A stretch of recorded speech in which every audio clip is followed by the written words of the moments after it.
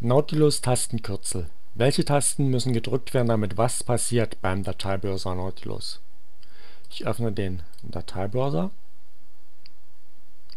Taste F9 öffnet oder entfernt die Seitenleiste. Steuerung N öffnet ein neues Fenster. Mit Shift Steuerung N wird ein neuer Ordner angelegt. Datei oder Ordner markieren. Steuerung O öffnet die Datei oder den Ordner. Ordner markieren. Shift Steuerung O öffnet den Ordner in einem neuen Reiter.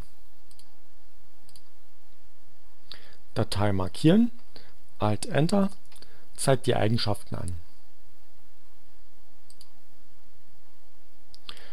Shift Steuerung W schließt alle Fenster. Steuerung W schließt das Fenster.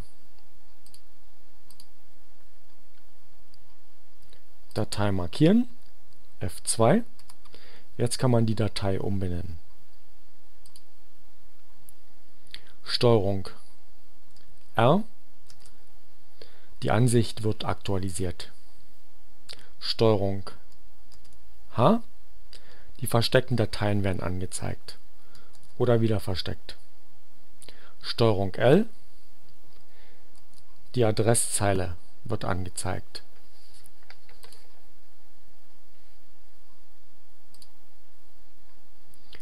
Steuerung Plus.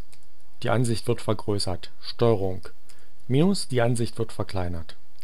Steuerung O. Ansicht normale Größe. Steuerung 1 Symbolansicht, Steuerung. 2 Listenansicht, Steuerung F. Man kann nach Dateien suchen. Alt Position 1 man springt zum Home-Verzeichnis. Die Tastenkürzel werden jeweils rechts neben der Funktion angezeigt. Ciao und viel Glück!